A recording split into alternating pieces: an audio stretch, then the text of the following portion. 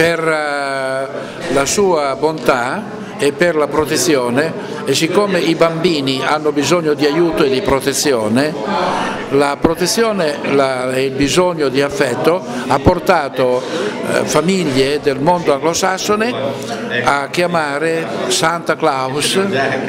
Sanctus Nicolaus, è principalmente una cosa popolare, cioè c'è sempre un gruppo di coloro che hanno conosciuto colui che diventa santo e, e, viene onorato da loro, per esempio San Francesco d'Assisi non viene seguito prima di tutto da frati, viene seguito da popolo che sta a Perugia, che sta a Spello, che sta a Spoleto, che sta ad Assisi, ma è il popolo.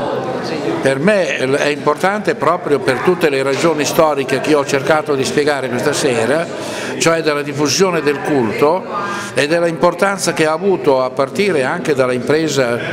dei baresi e del culto che si è avuto in Italia, in Sicilia, in Puglia e poi dopo in tutta l'Europa ma il culto è un fatto importante di stima. Per me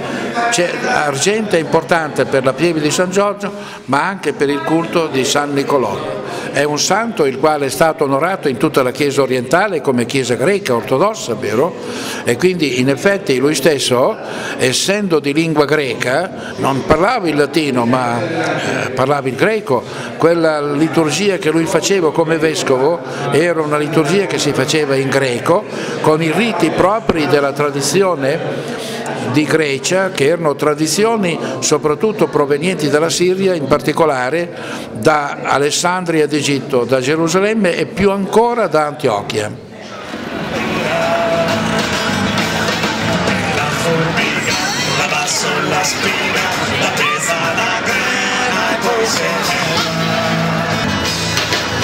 formica, la basso, la spiga,